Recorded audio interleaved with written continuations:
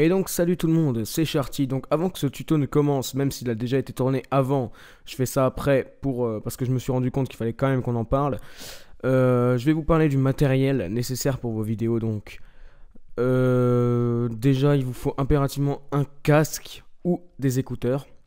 Si vous filmez un jeu, bien sûr. Donc si vous voulez filmer un jeu et que vous voulez entendre le son du jeu et le son de votre voix, il faut prendre le son du jeu et le son de votre voix à part. Et si vous n'avez pas un casque ou des écouteurs, euh, les deux vont être mélangés. Donc le son de votre voix et, le son de votre jeu vont être mélangés. Et ça va rendre dégueulasse. Donc euh, au moins des écouteurs, voilà. Et un micro externe. Ça peut être une caméra, ça peut être euh, un micro à, fil, à branchement USB comme nous on a. Euh, après, pour ceux qui veulent une meilleure qualité avec un micro, euh, avec un branchement USB, vous pouvez acheter un filtre anti-pop et un pied comme nous on a. Donc euh, voilà, ça fait vraiment. Là, ça sera une qualité limite maximum quoi. Et sinon, pour ceux qui cherchent à faire en qualité optimale, c'est-à-dire bien mais sans plus. Mais après, ben, vous pouvez prendre un micro casque Généralement, ça peut descendre à des prix très bas. Après, j'allais dire oui. Donc, euh, un micro casque peut déjà être très bien si vous montez vraiment le, prix très haut. Ça peut des fois même, être mieux que certains micros externes à branchement USB. Donc, euh, voilà pour le, niveau matériel. J'ai du mal à parler. Hein. Voilà pour le niveau matériel.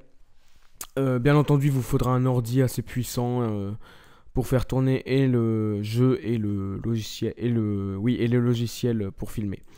Donc je vous laisse bon tutoriel.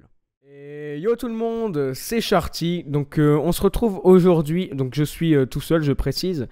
Donc on se retrouve aujourd'hui pour un petit, euh, pour une série de tutoriels. Donc il y aura en tout trois tutoriels. Avec Jay on s'est dit qu'on allait peut-être vous parler de la réalisation des vidéos, comment nous réalisons nos vidéos. Et donc on a décidé de peut-être vous aider, sachant qu'il y a plusieurs personnes qui m'ont demandé comment on faisait. Alors je, euh, vais vous dire comment ça va se passer. On va faire en tout trois vidéos. Donc il y aura, euh, je commence avec cette euh, première partie qui sera dédiée au graphisme. il y aura une deuxième vidéo sur, donc ça sera Jessie qui la fera, sur comment enregistrer sa voix et filmer l'écran. Et enfin, la troisième partie, euh, ça sera moi aussi, et ce sera la partie montage. Donc, euh, on va montrer euh, nos logiciels, ceux, qu'on utilise. Et donc, on va, commencer tout de suite avec la partie graphisme. Donc, pour ce tutoriel, vous aurez besoin de ces quatre logiciels, plus un cinquième qui est WinRAR, mais que tout le monde a normalement. Donc WinRAR, c'est quoi? C'est un, un extracteur, en gros. Ça permet d'extraire des fichiers. Donc euh, normalement tout le monde l'a. Regardez dans vos, dans vos programmes, vous devriez l'avoir et si vous l'avez pas, il est gratuit dans tous les cas. Donc euh, et puis si vraiment vous le trouvez pas, vous regardez des tutos sur internet. Je vais pas m'attarder là-dessus. Euh, donc on va commencer tout de suite avec le graphisme, avec le logiciel Photoshop que je vais lancer tout de suite. Et je vais, pendant que ça va charger, je vais vous parler un petit peu de Photoshop. Donc, qu'est-ce que Photoshop? Photoshop, c'est un logiciel qui nous permet de faire euh, des graphismes, voilà, nos propres euh, moyens. Alors, euh, c'est un logiciel, c'est un logiciel, pardon, excusez-moi, qui est utilisé par la majorité des grands youtubeurs. Donc, dites-vous que les plus grands, ceux que, dont, vous êtes fan, utilisent, pour une grande majorité ce logiciel. ce logiciel est aussi utilisé dans le domaine du travail, donc pour les logos industriels, tout ce qui est euh, logo industriel et tout ce qui est logo en général. Je pense le logo de Pôle Emploi par exemple a été fait par ce logiciel. Euh, vous avez ce logiciel peut être aussi, je pense, utilisé euh, pour les graphismes des boîtes de jeux de vos vidéos, de vos jeux vidéo, pardon. Donc c'est vraiment un logiciel qui est, ouais, il est très répandu et vous pouvez faire plein de choses avec. Donc voilà. Donc on va voir les bases de ce logiciel. Ne vous affolez pas en voyant ça. Alors déjà, comment acquérir ce logiciel Comment avoir ce logiciel C'est très simple.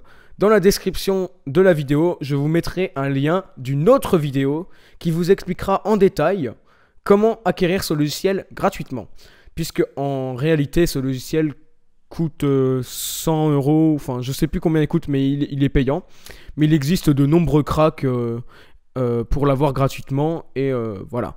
Donc, bon, c'est pas très légal, mais voilà, les chances de se faire choper sont très, très, très minimes très très minime vu que nous, euh, voilà, tous nos logiciels on les a acquéris en les craquant et voilà. Donc euh, vous aurez un lien euh, d'une vidéo qui vous expliquera comment l'acquérir dans la description. Donc je ne vais pas m'attarder là-dessus, je vais passer tout de suite aux choses sérieuses. Alors en plus il sera en français, hein, donc ça, c'est nickel. Donc il y a très peu de choses pour les bases de ce logiciel, il y a très peu de choses à savoir. Alors, déjà, euh, on va se servir de cet outil-là, l'outil déplacement. Euh, pour, là, je parle en fait euh, des, des, Là, en fait, ce logiciel, nous, on s'en sert pour faire des miniatures. Donc, les miniatures, je vais vous montrer tout de suite ce que c'est. on va aller sur Internet. Si Mozilla veut bien démarrer. Donc là, c'est en fait, c'est une première partie mais en fait, ça concerne plus euh, l'esthétique de la vidéo en fait. Donc si vous voulez vraiment voir la création de la vidéo, il faudrait euh, commencer à regarder à partir du tuto 2. Mais après, c'est toujours intéressant euh, de regarder comment comment c'est comment l'esthétique quoi. Ça, donnera vraiment un charme à votre vidéo et vous et ça, passera mieux pour ça fera plus pro on va dire. Ça fera moins débutant. Alors on va aller sur notre propre chaîne, hein, j'ai la flemme de me connecter. Je vais vous montrer exactement. Avec des exemples concrets. Donc voilà, là nous sommes sur notre chaîne. Alors voilà, on coupe la vidéo. Donc euh, le logiciel Photoshop va nous permettre de faire ceci. Donc le, truc que je vous montre avec le curseur, c'est la bannière de notre chaîne. Donc voilà, si vous avez une chaîne YouTube, je ne vais pas m'attarder sur comment la créer, tout ça, vous avez plein de tutos sur internet. Euh, mais voilà, si vous voulez que ça fasse déjà un peu plus pro, donc vous pouvez faire ceci. Ceci se fait avec Photoshop. C'est très simple, je vais vous montrer comment vous servir du logiciel après. Vous pouvez également faire votre logo, donc comme je le disais tout à l'heure, logo, et des miniatures. Les miniatures, qu'est-ce que c'est? C'est la première image que nous voyons sur la vidéo. Donc là, par exemple, notre let's play euh, Dragon Ball Z, Goku dans vue, voilà. La première image que vous voyez là, qui fait stylé, euh, enfin, qui fait stylé, chacun ses goûts après, voilà. Mais euh, voilà, je veux dire, vous avez une image, quoi. Vous n'avez pas. quand vous n'avez pas de miniature, voilà, vous, vous voyez la vidéo à un moment aléatoire. Donc c'est. C'est pas moche, mais bon, ça fait. Comme je vous l'ai dit, ça fait moins pro. Ça fait, ça fait genre le gars qui se casse pas le cul, quoi. Enfin voilà, en gros. Donc voilà, vous avez après vous avez plein de moyens. Euh, donc ça c'est rien qu'avec avec un logo bannière et miniature, votre chaîne euh, va tout de suite ressortir du lot. C'est déjà c'est déjà clair et net ça. Donc on va commencer tout de suite avec un exemple concret. Alors on va faire fichier nouveau. Alors déjà on va mettre en pixel. Et là on va mettre en transparent. Résolution on met 150. Alors pour les miniatures, la, alors la dimension c'est 1280 par 720p. Et on fait nouveau. On se retrouve avec ça. Exactement ceci. Alors, euh, vous voulez faire une image. Donc euh, personnalisez vous-même. Voilà, j'ai quitté euh, Mozilla pour rien. Il faut que je le redémarre. Alors, en fait, Photoshop, c'est très simple. Il faut se dire que c'est un système de calque donc, regardez, là, vous avez les calques à droite. Hein. Donc, en fait, là, j'ai créé un groupe pour rien. Ça, ça, on s'en fout, en fait. Supprimer le groupe. Non, c'est calque que je voulais. Voilà, vous mettez des calques sur des calques. Voilà, en fait, c'est comme si, dans la vraie vie, euh, vous preniez... Vous dessiniez une feuille, vous mettiez... Euh, enfin, vous dessinez sur plusieurs feuilles, et vous mettez une feuille une au-dessus de l'autre, quoi. C'est exactement le même principe. Donc, en fait, il faut aller chercher des images sur Internet. Voilà, donc euh, je sais pas, on va, on va prendre un fond. Fond, euh, allez, fond vert. Même si ça sera, ça sera un peu moche. Voilà, vous prenez n'importe quelle image, un fond. On va prendre celui-là, tiens. Donc, on fait enregistrer l'image sous. Euh, ok, GFX, voilà. Euh, fond vert 2, voilà, fond vert 2. Enregistré. Donc là, vous, le machin s'est téléchargé, on le voit là. Et on fait fichier, importer. On va aller dans bureau. Revol Players. GFX. Fond vert 2. Voilà. Et donc, on, tient, on maintient la, touche Shift et on règle les dimensions. Pourquoi on maintient la touche Shift? Parce que la touche Shift, la touche Shift, pardon, quand on la maintient, vous voyez que ça grossit tout le temps. Enfin, ça perd pas en qualité l'image. Si on, ne tient pas la touche Shift, voilà comme ça grossit. Ça grossit dans n'importe quel sens et l'image va être euh, à un moment donné pixelisée. Donc, euh, si vous voulez pas que ça arrive, vous maintenez la touche Shift et vous réglez. Bon, l'idéal, c'est d'avoir une image, vous l'aurez compris, de dimension 1280 par 720p pour que ça rentre dans le cadre. Voilà. Mais là, c'est parfait. Donc voilà, vous avez votre calque. On va créer un nouveau calque. Donc voilà, au-dessus. Et on va prendre l'outil texte. L'outil texte, s'il veut bien marcher. Faut attendre un petit peu. Outil texte. Voilà. Alors, outil texte. Euh, on va prendre l'outil texte horizontal et on va ouvrir, en maintenant le clic euh, gauche, on va ouvrir un cadre. Voilà, et là on va écrire, euh, je sais pas moi, les tutos, tuto, euh, tuto, voilà, tuto. par contre, on va le mettre en nettement moins gros. Donc là, vous avez les dimensions. On va le mettre en 36. Tuto, comment on va appeler ça? Tuto Photoshop. Allez, tuto Photoshop on va mettre, rajouter CS6. Voilà. Alors, donc on va réduire le cadre puisque pour euh, voilà, on va pas faire des économies. Alors, là ici vous avez la police. Alors contrairement à ce qu'on pourrait croire, c'est pas le 17, c'est pas les pas les flics, voilà. C'est dit c'est fait, j'ai sorti ma vanne. Euh, donc les polices, alors vous avez un large choix de police, donc c'est la manière dont le texte est écrit. Donc euh, voilà, là ça va être écrit comme ça, là ça va être euh, là ça va être écrit comme ça, enfin voilà. Et euh, enfin vous avez de base dans Photoshop, il y en a, il y en a vraiment plein. Après vous pouvez toujours en télécharger. Donc il y a des sites comme dafont.com qui sont bien. Donc voilà, et ces sites donc ça sera en format rare, donc c'est là que vous aurez besoin de WinRAR pour avoir les, les, les, polices. Mais ça non plus, je vais pas m'attarder là-dessus. Vous avez qu'à regarder des tutos. Moi, je veux vraiment qu'on voie les bases de ce logiciel. Euh, voilà. Donc, par exemple, vous voyez la, police Psycho, je l'ai téléchargé. Voilà. Donc, euh, vous voyez, ça fait un, style euh, particulier. Donc, on va trouver une police qui nous convient quand même. Ravi, je sais que c'est une. Non, pas Ravi comme ça, mais Ravi l'autre. Je sais que c'est une police que j'utilise beaucoup. Attendez, hein. Ravi, comme ça. Ah, je l'ai pas. Ah oui, c'est vrai, c'est sur l'autre PC qu'elle est téléchargée. Excusez-moi. Donc, on va prendre... Allez, hors des codes. ah non, ça fait pas... Bouton? Non. Encore moins. Allez, on va s'en trouver une. Eagle Strike. Ouais. Voilà. Eagle Strike, il est pas mal. Donc voilà, vous avez votre truc. Donc vous avez tuto CS6. Ensuite, vous allez me dire, ouais, mais il ressort pas bien euh, le truc. Par contre, je crois que j'ai oublié le P de Photoshop. Donc on revient là. Photoshop. Et on rouvre, on agrandit le cadre pour que ça rentre. Voilà. Et par contre, on peut le rétrécir de ce côté-là. Parfait. Donc on reprend l'outil déplacement. Voilà. Donc vous allez me dire, c'est vrai qu'il ressort pas tellement le tuto, le tuto Photoshop CS6. Donc qu'est-ce qu'on va faire? On va, faire cliquer euh, un clic droit là-dessus sur le calque et on va faire option de fusion. Donc comme vous voyez ce que j'ai fait.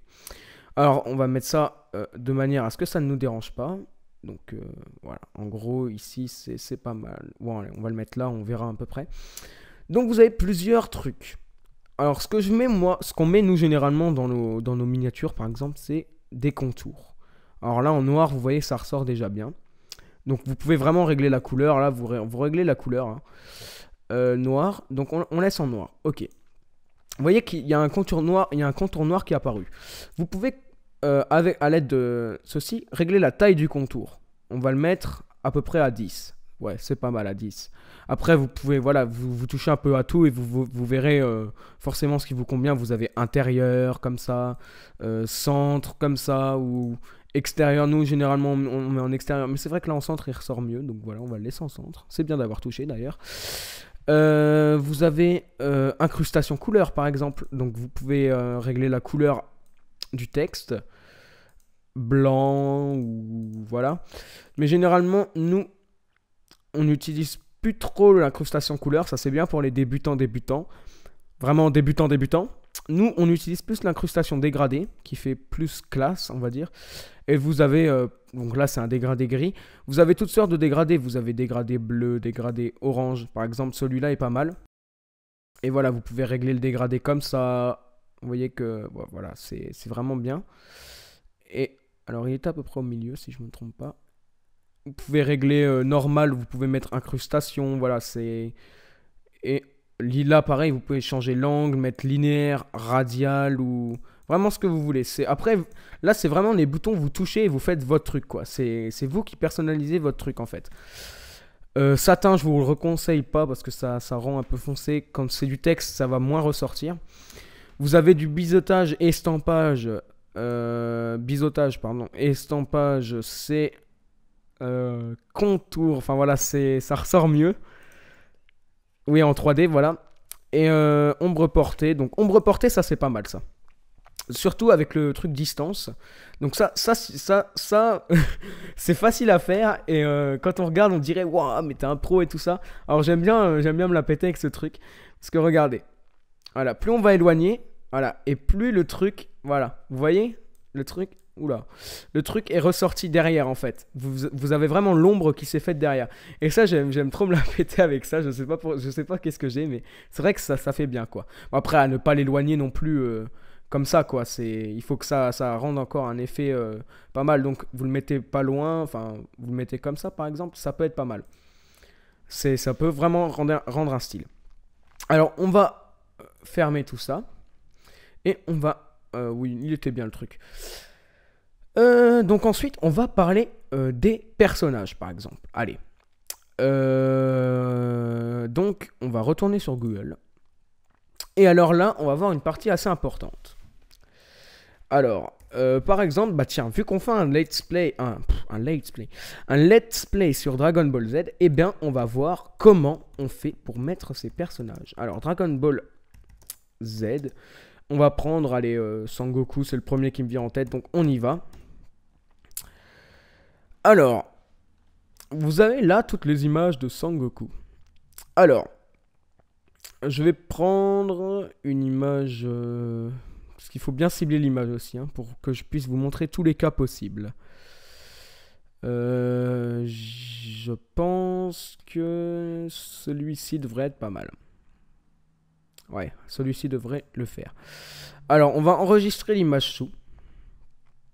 On va l'appeler Sangoku. Veillez bien, quand vous enregistrez les images, à mettre un bon nom et pour euh, pouvoir vous y retrouver. Oui, enregistré, merci. Alors, fichier importé. Voilà, parfait. Importé. Donc vous voyez, vous avez votre Sangoku. Problème, il y a le cadre gris là autour. Et ça, ça, ça peut vous déranger. Euh, parce que voilà, ça, fait moche. Donc on va prendre l'outil baguette magique qui est juste ici. Si euh, vous ne la voyez pas, c'est qu'elle est cachée sous l'outil sélection rapide. Donc vous faites clic droit et vous cherchez. Outil baguette magique, on va mettre une tolérance de 50. Réglez bien la tolérance, ça peut jouer pas mal de choses. Et voilà, on va sélectionner l'image. On va cliquer, on va faire un clic droit sur le calque Sangoku et on va faire pixeliser le calque. Ensuite, on va appuyer sur la touche euh, supprimer, celle que vous avez pour supprimer le texte. Et voilà. On reclique et c'est parfait, notre Sangoku est là.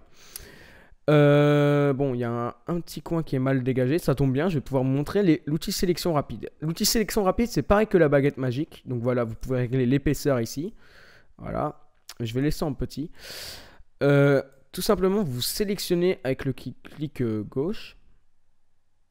Et Voilà, tout ce qui est à l'intérieur de la sélection euh, peut être supprimé. Une fois que vous avez pixelisé une seule fois, c'est bon. Voilà, donc c'est à peu près propre. La découpe est à peu près propre. Donc ensuite, vous faites le raccourci CTRL T. Donc vous avez un cadre qui apparaît. Tous Shift, si vous vous rappelez bien. Et on le met bien. Voilà. Et voilà. Après, voilà, vous pouvez le mettre où vous voulez. Donc si vous le mettez là, il va être derrière le truc tuto. Si vous le mettez là, il va être, on ne le verra pas, il sera derrière le fond vert. Enfin voilà. Après, c'est à vous de gérer vos calques. Et euh, je pense qu'on va le mettre comme ça, le, Sangoku. Voilà, ça c'est pas mal, avec tuto Photoshop. Bon, ça n'a rien à voir, on est d'accord, mais c'était juste pour vous montrer. Alors, deuxième cas possible avec de la découpe de personnages, ou autre chose similaire.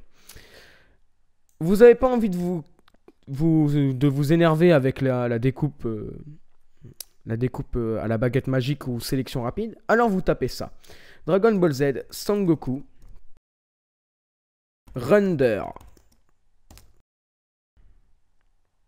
Voilà.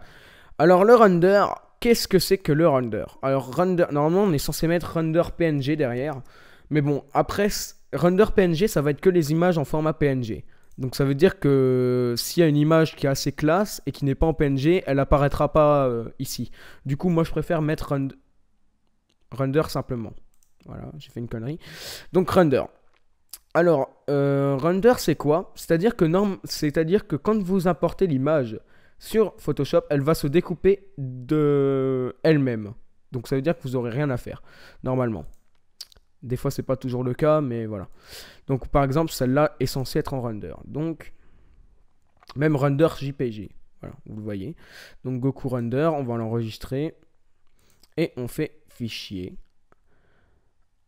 Importer. Pardon, voilà, je trouvais plus le importer. Ça devient grave. Et on prend Goku Render. Et vous voyez que là, ça n'a pas été le cas. Mais normalement, l'image est censée se découper d'elle-même. Donc euh, c'est pas toujours le cas, mais c'est censé. Donc là, vous voyez, vous reprenez votre baguette magique, voilà, hop, ah mince, pixelisez le calque. Voilà. Hop, vous découpez, vous découpez, vous découpez. Et voilà, vous avez votre image. Bon, voilà. En gros, je vous ai montré tous les cas possibles avec une image. Après, il y a aussi les cas où l'image, euh, elle a où vous avez un fond euh, très difficile à découper dans une image. Alors là, il faut prendre son temps. Il faut y aller avec euh, l'outil sélection rapide ou même l'outil gomme parfois. Donc l'outil gomme qui est l'outil correcteur, voilà, qui est ici. Non, l'outil gomme, pardon. L'outil gomme qui est ici. Donc voilà, vous gommez, puis voilà. Donc il faut prendre son temps des fois, donc ça, ça peut être énervant. Donc il faut vraiment, euh, voilà, les bases, c'est quand même chercher un, fond qui, qui peut facilement s'enlever. Donc là, on fait supprimer le calque, oui. Euh, qu'est-ce que je pourrais encore vous montrer?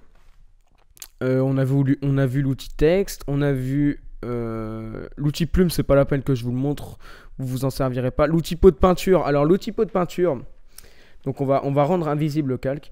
L'outil pot de peinture, c'est bien quand vous trouvez pas un fond sympa. L'outil pot de peinture, ça peut être pas mal. Alors, vous sélectionnez votre couleur là. on va faire un fond comme ça. Ok. Et avec l'outil pot... Ah d'accord, ok. Donc, nouveau calque.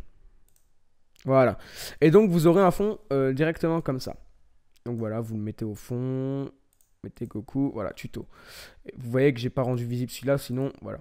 Donc voilà, si vous n'avez pas de fond, bah, vous en faites un vous-même. Voilà. Bon, après, euh, pareil, vous pouvez faire aussi option de fusion, euh, le régler comme vous le voulez. Enfin voilà, je veux dire, après, c'est. Tout est similaire, sauf ce logiciel est facile à prendre en main. Donc c'est. Voilà, vous pouvez faire un dégradé, un. Ah, un truc pas mal comme ça, opacité. Comme ça. Voilà, en plus, ça, ça, ça, réfléchit un peu la lumière. Voilà, vous pouvez faire vraiment des trucs pas mal. Donc franchement, après, voilà, ça c'est euh, vraiment les bases de Photoshop. Euh, voilà, l'outil déplacement, on l'a vu. Donc maintenant, je vais vous montrer comment euh, peut-être exporter. donc vous faites fichier. Donc déjà, si vous voulez l'enregistrer en format Photoshop. Imaginons, vous en avez marre, vous dites, ouais, c'est une image qui va prendre du temps. Par exemple, votre bannière si vous voulez, vraiment faire votre bannière euh, ou votre logo, ça prendra peut-être plusieurs heures, voire plusieurs jours. Donc euh, vous en avez marre, vous voulez laisser le travail et le reprendre plus tard. Donc vous faites enregistrer sous. Et là, euh, vous, vous mettez un nom, enfin voilà, et ça va s'enregistrer en .psd. Alors vous aurez juste à reprendre le fichier, faire fichier ouvrir, et euh, Photoshop ouvrira le fichier euh, tel qu'il sera enregistré. Si maintenant vous voulez l'enregistrer pour mettre directement la miniature sur votre vidéo, par exemple, vous faites enregistrer pour le web et les périphériques. Vous réglez tout ça, donc ça, vous mettez point, vous mettez pas GIF, vous mettez JPG. Ici, vous mettez euh, supérieur. C'est pas mal. Optimiser. Qualité 100. Nickel. Convertir en couleur de, dans l'espace Normalement, c'est décoché ça, je crois. Il me semble.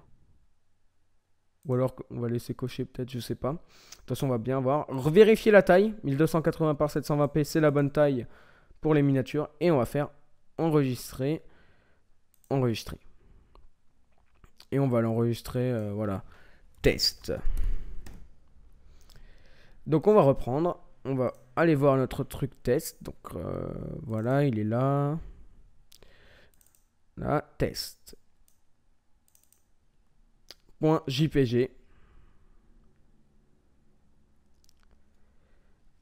Et ça s'ouvre. Et voilà, vous avez votre miniature, donc en bonne qualité en plus.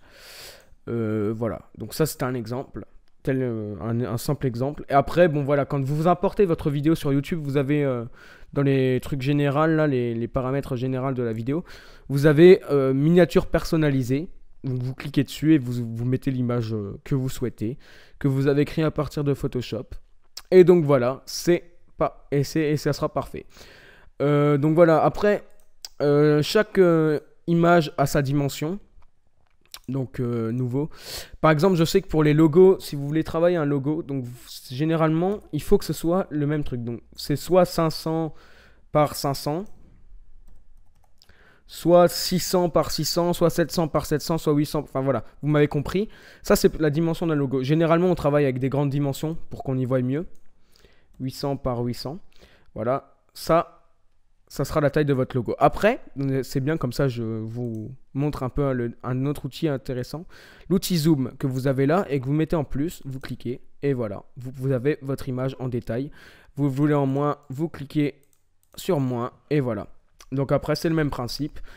Et euh, pour la dimension de la, de la bannière, pardon, euh, je ne l'ai pas en tête, mais je sais qu'il faut télécharger une template. Une template, c'est quoi? C'est une image qui a directement la bonne dimension. Euh, donc que vous mettrez en fond. Et euh, donc il y aura déjà les bonnes dimensions de la bannière et, que donc, et donc vous travaillerez dessus. Mais euh, pour justement ce tuto logo bannière, je vous conseille une chaîne qui s'appelle G3 Design, la chaîne de G3 Design. Je sais que j'ai énormément appris sur Photoshop grâce à cette chaîne. Donc, et je sais qu'il a fait des tutos justement sur comment faire un logo, comment faire une bannière. C'est vraiment facile. C'est vraiment facile. Après, bon, c'est vrai que nous, notre logo et notre bannière, on l'a fait faire par quelqu'un d'autre. On appelle ça des GFX, ceux qui font, euh, ceux qui travaillent avec ce type de logiciel pour, d'autres personnes. Mais bon, il y a des GFX payants. Donc, euh, si vous voulez vraiment. Euh, puis, c'est vrai, c'est pas que je vous conseille pas de prendre de GFX, mais après, le faire vous-même, ça, vous apporterait votre touche personnelle. Et je trouve que c'est vraiment mieux. après, voilà. Chacun euh, pense comme il veut. Donc voilà, c'est déjà la fin de ce tutoriel sur Photoshop. Donc voilà, vous savez comment euh, les grands youtubeurs font leur miniature. Comment euh, voilà, donc comment ils font pour avoir leur propre logo sans le piquer sur internet. maintenant, vous pouvez, maintenant c'est à vous de le faire, vous aussi. Donc je vous donne rendez-vous dans la description de la vidéo pour savoir comment craquer ce logiciel, comment l'avoir gratuitement. Et euh, voilà, très. Ben, on va se quitter euh, sur, ce, sur ce tuto qui sera peut-être long, je sais pas, je vois pas euh, à combien de temps on en est. 27 minutes quand même, ok. Mais qui sera quand même bien expliqué. Donc allez, en attendant, moi je vous dis bye tout le monde et je vous donne rendez et je vous laisse avec la partie 2 qui arrivera prochainement de Jay-Z. Bye le people.